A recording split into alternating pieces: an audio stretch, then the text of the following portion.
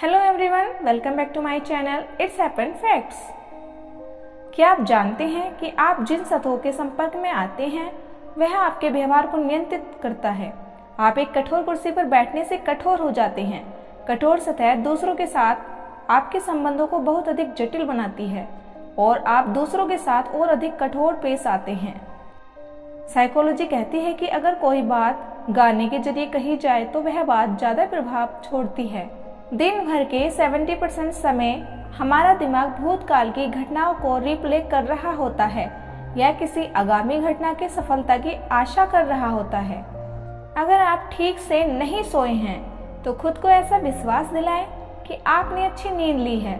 कुछ देर बाद आप पाएँगे कि ठीक से ना सो पाने का असर कम हो गया है।